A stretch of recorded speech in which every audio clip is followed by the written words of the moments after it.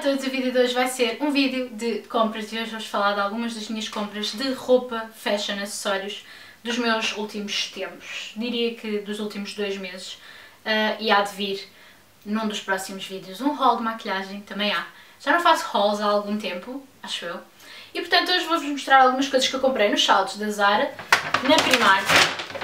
Tem também uh, duas coisas da Shein, Asus e Happiness Boutique. Portanto, o vídeo de hoje é isso, por isso vamos começar. Ora, vamos começar com Happiness Boutique, que é uma loja de acessórios, portanto, bijutaria, uh, brincos, colares, pulseiras, etc., que me enviou uh, dois pares de brincos, muito nos temas que eu gosto, brincos longos, ou constelações, ou estrelinhas, assim, coisas muito pequeninas, mas muito o meu género, e eu estou completamente apaixonada e decidi-vos mostrar. Uh, o primeiro set que eles me enviaram, na verdade, este aqui eu ainda não experimentei, mas é totalmente a minha cara. O primeiro que vinha no set, eu vou chegar-me para vocês verem melhor. O primeiro set é esta barrazinha prateada com fake pérolas muito gira que eu decidi pôr aqui de lado e depois esta já maior que é ótima para ser tipo hair cuff, sabem? Para quem tem principalmente o segundo furo como eu, eu adoro estes tipos de brincos e tenho vários ear cuffs, que são aqueles brincos que agarram metade da orelha. E este é, mas eu não gosto daqueles muito, muito grandes, gosto de coisas assim mimosas e acho que este que me enviaram é perfeito para mim. Que é daqueles que fica assim, sabe? E depois prende. Isto é fantástico para quem tem ou um furo aqui no meio ou para quem tem um segundo furo e fica fantástico. Eu posso pô-lo principalmente ou no segundo furo ou então mais cá em cima. Muito, muito giro, muito dainty. Este segundo ainda não utilizei, no entanto, desde que recebi isto, que tenho estado a utilizar o primeiro aqui neste furo. E mandaram-me uma constelação dourada que é totalmente, aliás, rose gold, que é totalmente a minha cara, que é a segunda constelação, e vocês já veem aqui o canal há algum tempo, já me ouviram falar de brincos constelações, eu ano passado comprei na Acessorize uma coleção das constelações dos signos, comprei o colar, na altura até comprei este, na verdade. Há muita gente a perguntar onde é que eu comprei este inicial, este é da Acessorize, tal como hum, a constelação e as pedras do signo, etc. Tudo isso é da Accessorize, que eu muitas das vezes ando aqui com estes colares e são todos da coleção Z, que é uma coleção que supostamente é banhada, é um bocadinho nada mais cara, mas não corrói, não perde a cor e tem, tem bastante qualidade em termos de bijutaria, vá. Uh, e pronto, o ano passado eu comprei uh, o colar da constelação na Accessorize e comprei o brinco da constelação do meu signo, neste caso do Virgem, o primeiro que eu tenho é a constelação da Accessorize e o segundo, que é o maior, que é absolutamente lindo, foi o que a Happiness Boutique uh, me enviou e eu adoro completamente, principalmente estes dois. É perfeito para complementar a minha constelação que eu já tinha e, portanto, tinha que mostrar este. Tem brincos muito giros para quem gosta assim de coisas mais uh, dainty, aquelas coisas mais minimalistas, mas muito bonitinhas, que fazem uma orelha interessante, vá, no meu ver. É, é muito giro, muito giro. Anyways, Agora, passando para, uh, se calhar Primark, que está já aqui ao lado. Vamos falar das coisas que eu comprei na Primark. Eu não comprei muita coisa. Comprei, primeiro, coisas necessárias e básicas. Discos de algodão dos grandes, custam 2 euros. E traz um monte deles. Não diz quantos traz. Ah, 100. Portanto, estão a ver. É um ótimo negócio. Comprei, claro, coisas do Harry Potter. E se já viram algum uh, haul meu com vídeos com coisas da Primark, já devem ter percebido que eu adoro coisas do Harry Potter. Aliás, eu obcecada. Uh, depois comprei outra coisa utilitária, estas meiazinhas meio transparentes, a imitar mas só tipo até meio da perna. E estas são pretas, isto custa 2€ e traz 5 uh, ah, destas meias, isto dá sempre muito jeito.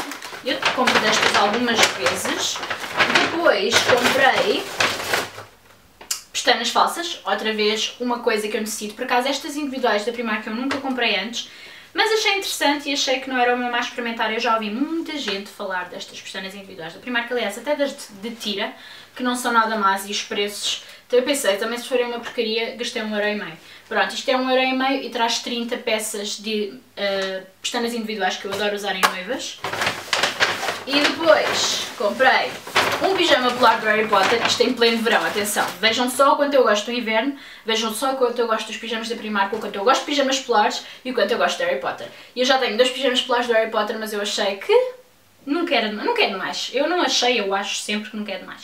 Comprei este polarzinho, que vai ser a minha próxima opção do próximo Natal, que é, sim, comprei em M, este basicamente é branquinho na parte de cima, traz uma coruja, uma Edwig a dizer The Cupboard Under the Stairs, Surrey, que é onde o Harry vivia. E depois as calças são assim azuis, noite, com montes de Hedwigs. E é a coisa mais amorosa de sempre. E óbvio que eu tinha que trazer, evidentemente. E depois comprei um par de meias. Na verdade eu tive para trazer três pares de meias. Mas trouxe só um par de meias. Porque eu já tinha quase todos. Havia os outros dois que eu não trouxe. Hei de lá buscar outra vez.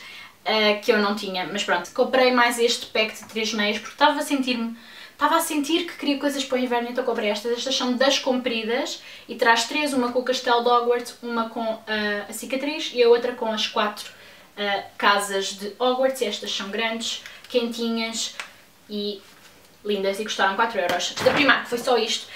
Desta vez eu até fui bastante ponderada a comprar na Primark. Normalmente eu na Primark não sou muito ponderada a comprar, e é um bocado mau porque como é muito barato eu penso sempre que não estou a gastar muito dinheiro e depois eu compro tanta coisa, principalmente do Harry Potter e depois chega ao fim e é tipo, hum, se calhar gastaste um bocadinho mais do que devias, ok, calma. E desta vez eu tive esse pensamento que foi, tu pegas isto 2 euros, isto 2 euros, isto 2 euros, isto 2 euros, parece que nunca estás a gastar, mas depois no fim quando vês a conta é tipo, yeah, se calhar gastei um bocadinho mais. Portanto, desta vez fui um bocadinho mais ponderada, não digo que não vá lá buscar as meias brevemente porque ficaram na cabeça, mas para já foi isto. Depois comprei na Zara, encomendei online porque houve uma amiga minha que comprou uma camisola da Zara branca com pérolas, já de inverno, tipo malhas, e eu adorei. Ela na altura disse-me que tinha comprado a 5,99 e eu achei, ok, as malhas da Zara são fantásticas.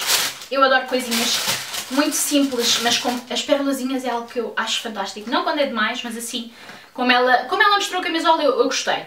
E achei, bem, 5,99, malhas da Zara são quentinhas, são até bastante boa qualidade. Vou aproveitar porque as malhas da Zara costumam ser tipo de 30 euros para cima. E quando fui ao site da Zara, não só estava lá a camisola das pernas, como estava em rosa bebê e ainda estava mais barato. E portanto eu comprei a rosa pálida uh, e comprei mais uma t-shirtinha que estava nos saldos também e pedi para entregar em casa. A camisola das pérolas é esta, que é absolutamente linda, é rosa e é cropped. Não é um cropped muito cropped, não é aquele cropped que ela acaba logo a seguir ao peito.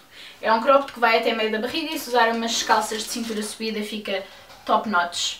Mas é assim um bocadinho cropped. É um rosa absolutamente lindo. Eu sei que tenho um monte de malhas rosas e depois quando cheguei a casa pensei, hum, eu tenho um monte de malhas rosas na verdade, porque o ano passado comprei muita malha rosa.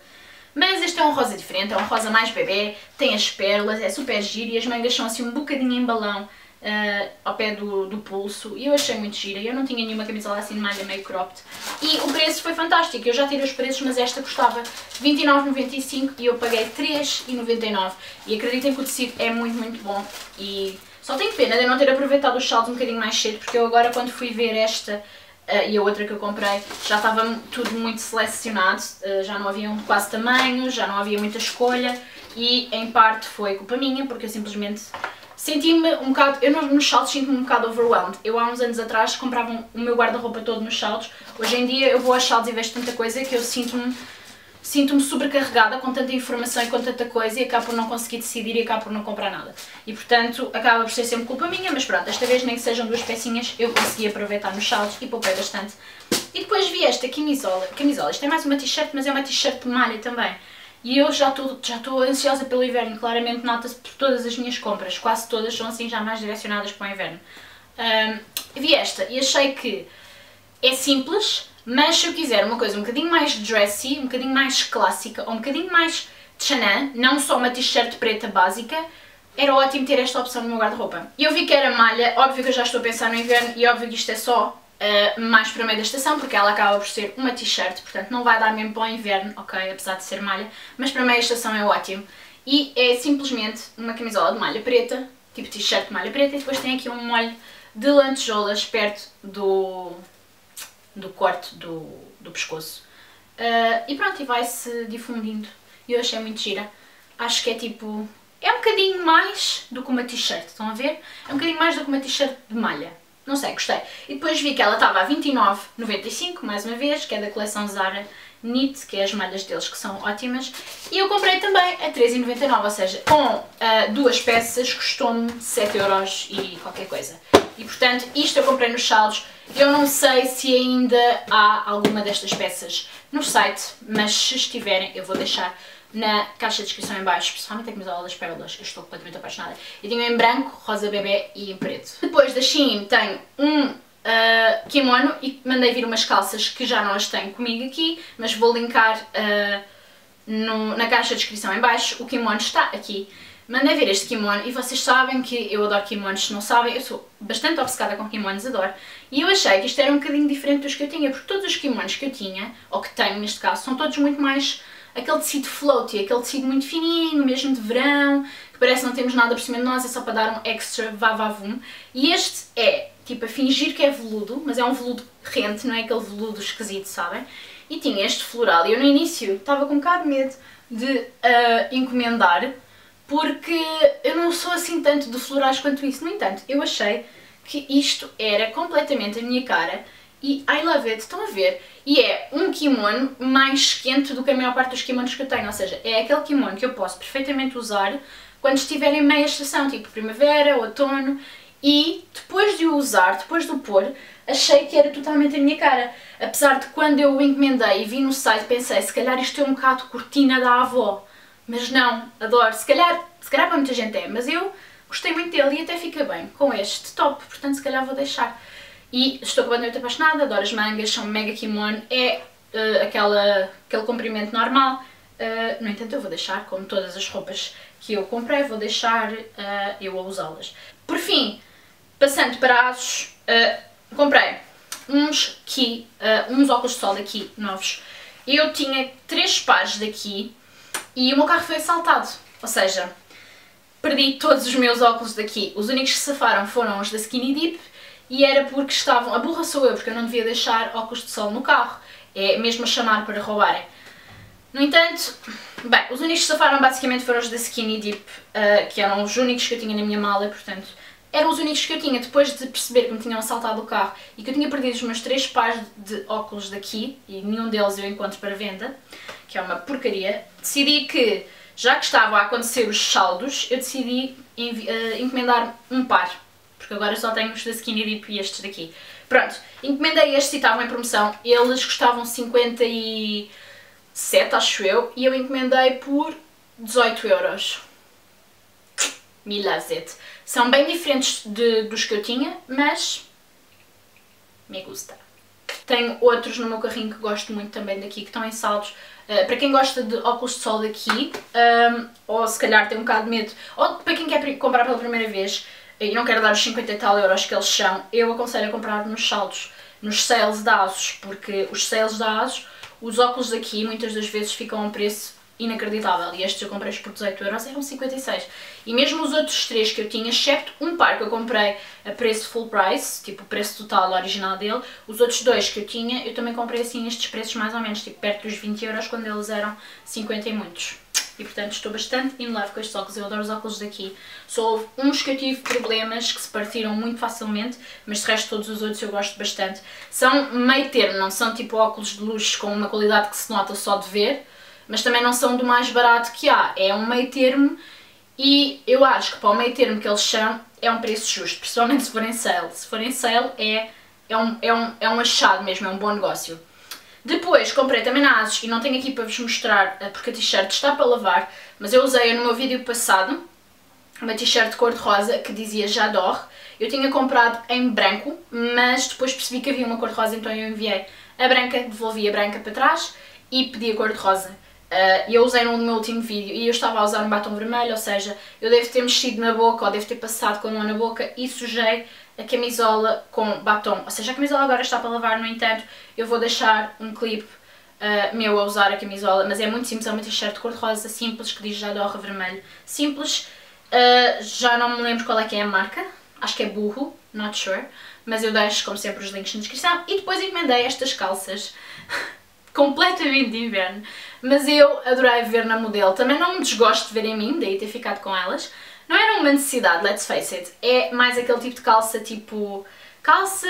Não é uma calça para ir trabalhar, não é uma calça para ir a um sítio fancy. É uma calça tipo fato de treino para andar por casa, ou para ir ao supermercado, ou para ir dar uma volta, sabem? Descontraída, calça descontraída, que eu ando muito numa onda de calça descontraída, eu não tinha opções de calças descontraídas, e cada vez que tinha que me vestir para ir tipo ao supermercado, ou para ir deitar o lixo, ou para ir, eh, sei lá, casa do meu pai, que é muito perto da minha, sabem? Aquele tipo de coisas, só de pensar em pôr umas calças, umas skinny jeans, que é o que eu costumo usar, ficava sempre tipo, poça, porque é que eu não tenho umas calças tipo fato de treino?